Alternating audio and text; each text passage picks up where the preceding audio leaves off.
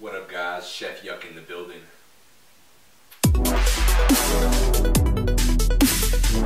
As you guys know, it's bulk season, so we're gonna make a pretty cool, pretty easy, pretty delicious recipe here. Super high in protein. This is one of my staples.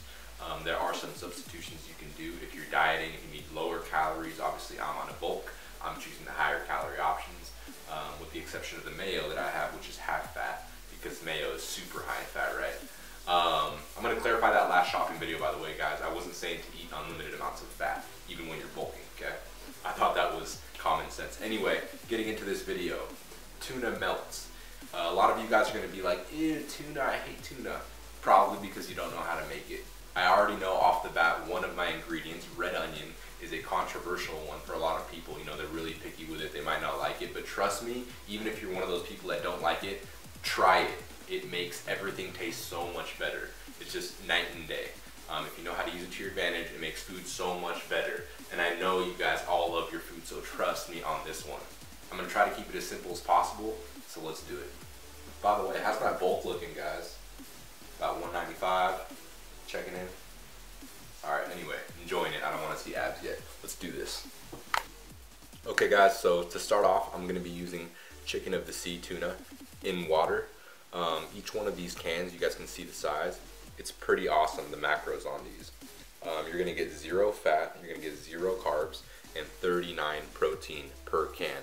And I'm gonna make two cans. It's gonna be a pretty big meal. These are not small cans, but they're also not huge, so it's doable.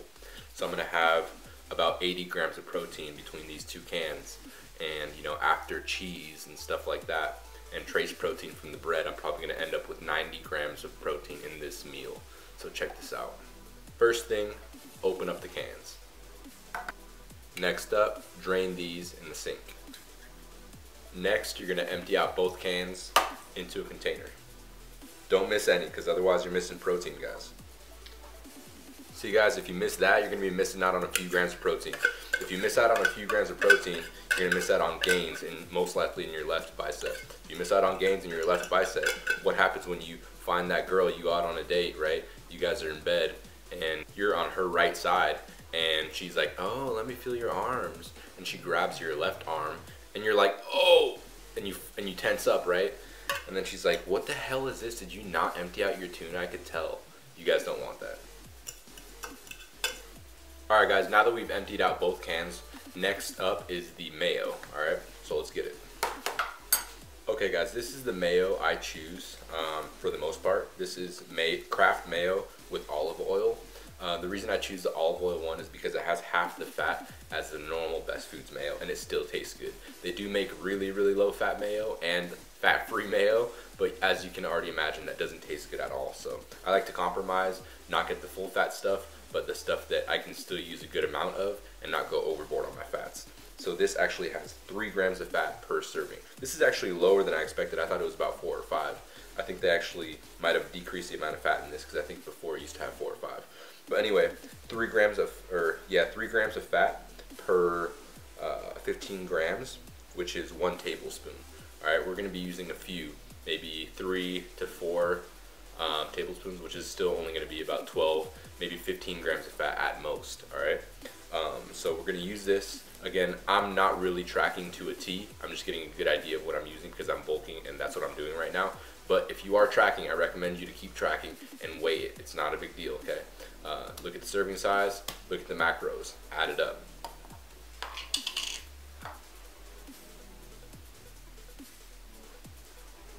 Start mixing it up you're gonna run into a problem if the tuna ends up being too dry. So that's gonna be a rookie mistake. What I recommend is uh, mixing it in, right? Don't go don't go overboard in the beginning because you can't take away the mayo. But uh, start off conservatively, and then add from there if you need to. Okay. Um, and a, a, signal that it's too dry is if you have like some tuna breaking away, it's not smooth looking, there's no white to it, all those things are things you want to stay away from, right? And you, again, you don't want to go overboard either. So it's hard to explain, but I'll show you a pretty good consistency um, and a good amount of mayo to tuna ratio when I got it. All right, this is pretty close right here, but I'm gonna add just a little bit more just so you guys can see the perfect consistency. And that's gonna be perfect. Alright guys, so check this out. Here it is. This is what it looks like. Okay, sticks together. It's not all breaking apart. Okay, it's got enough to stick together. That's usually where you guys want it. So make sure you have the right amount of mayo. That's that's a big important step. Okay, so from there guys, you're gonna wanna add your onion. I already have some onion chopped up in a little bag but I have a video clip that I recorded, luckily, that saves me here, um, of how to chop an onion up, and I'm gonna include that here, all right? So watch that, make sure you know how to cut an onion, don't cut yourself, and cut the onion effectively, efficiently, and at the right size, and then you're gonna get what I have here. Once you have that, then you're gonna put it in. Obviously minimal calories, I'm not counting it like I said, but if you are, you're gonna have to weigh that too, right? Anything with calories, you're gonna weigh it. So, putting in the onions next.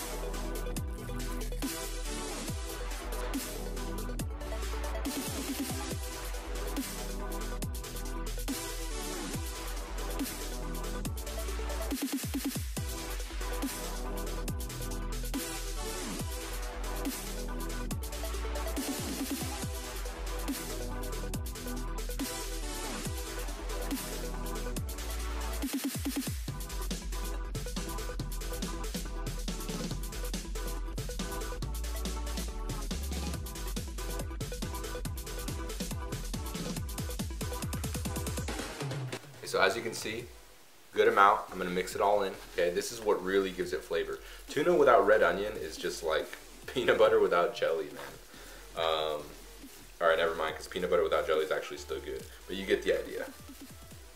I might have put a little bit too much in here, but I usually go heavy on the red onion anyway. I'm not really worried about it. But I'll show you guys what it looks like when it's done. Okay guys, here it is. Done with the onion. Now all I have left to do right now for the tuna strong. You can see my dog right here, Lexi. Um, is add salt and a little bit of pepper. Okay. Um, usually, I also recommend adding a little tiny bit of raisin, like barely any, maybe a tiny sprinkle of raisins in here, because the sweet element is always good in a tuna or chicken salad. Um, a lot of times you'll see like little chopped up apple and sometimes I like to put chopped up celery in there too. So those are recommendations. I'm not going to put any of those in there today because right now I'm just hungry and I want to eat it. But I do recommend having that sweet element in it. So time to add some salt, a little bit of pepper, and from there I'm going to load up the bread and then I'm going to sprinkle it with some cheese on top of the tuna and then I'm to throw it into the toaster oven. And I'm to show you what to do if you don't have a toaster oven. Okay guys, I'm using this bread, uh, buttermilk white bread. This bread has 20 grams of carbs per slice. You can easily find breads that have a little bit less. Um, this is pretty moderate. There are some breads that have, you know, mid 20s, even high 20s per slice. Um, so depending on your diet, choose what bread you want to use, all right?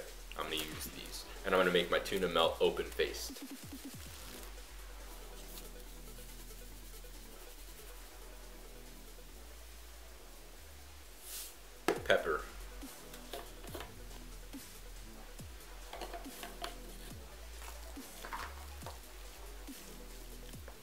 so you're to load this on pretty good. I'm to show you how.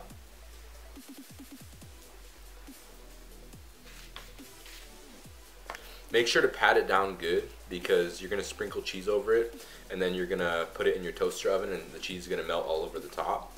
Um, but you don't want your tuna falling off all over the place and stuff, right? Don't be afraid to be a little bit rough on it like your girl. Seriously. Ready for cheese. And by the way, guys, right now is when I recommend turning your toaster oven on before you put the tuna on the bread, just so it starts preheating a little bit. You don't need to do it too early. Now, if you're weighing your cheese, make sure to put your plate on the scale and weigh how much cheese you're using, obviously, okay? I'm just eyeing it. I have a good idea of how much I'm using. I'm bulking. If you're tracking, make sure to track these macros. You want to cover it up nicely so that once it melts, it's going to melt all over the top, okay? This is a good time to fill your fats up if you guys haven't hit high fats throughout the day. Um, I know that was a problem with me when I was dieting. I would just save a lot of fats and then I ended up saving too much. So, alright guys, this is a toaster oven. If you don't have one, I really recommend getting one because it's very, very, very useful. You can pick one up for maybe 20 bucks, maybe 25 bucks at Target, Walmart, anything like that. Uh, very useful thing. If you don't have this, you can also do this same thing that I'm doing using a regular oven. Just uh, increase it to a very high temperature, preheat it. Once it's there, you can just put these tuna melts in just like you would cookies on a cookie tray or something, all right? Um, but this makes it very convenient. So here we go. I'm gonna put it in and pull it out and show you what it looks like as the final product. Woo! Toasty.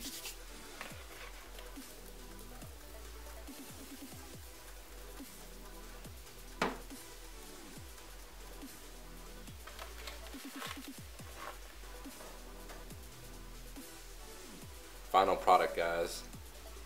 Fwah. Let me show you the bottom too so you know I mean business. Nice and toasty. Fwah. Bite into that and tell me you don't like tuna. Um, just do it right, guys. That's 90 grams of protein in that meal. Didn't seem too huge, right? Even for those of you who have problems eating uh, volume on your bulk, that's something that can get it done.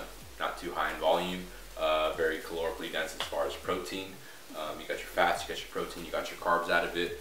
Balanced meal, right? Maybe you get some greens on the side of it and you're good to go. Bunch of water, right? Stay hydrated.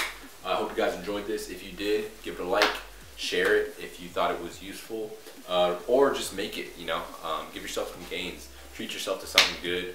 Um, I really like this. Like I said, this is one of my staples, guys. If you eat it, it's gonna go straight to your biceps. Wow.